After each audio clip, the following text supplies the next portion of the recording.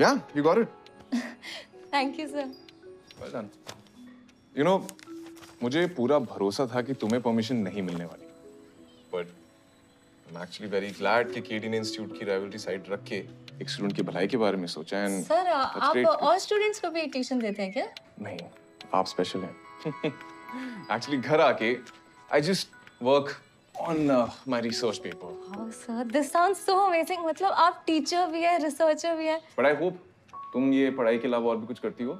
Extra curricular activities और something sir school में badminton खेलती थी पर वो फिर कोच ने footwork I am really good at badminton so अगर तुम चाहो तो हम बैडमिंटन खेल सकते हैं। सर बैडमिंटन अरे it's fun it's all physics यूँ सीख जाओगे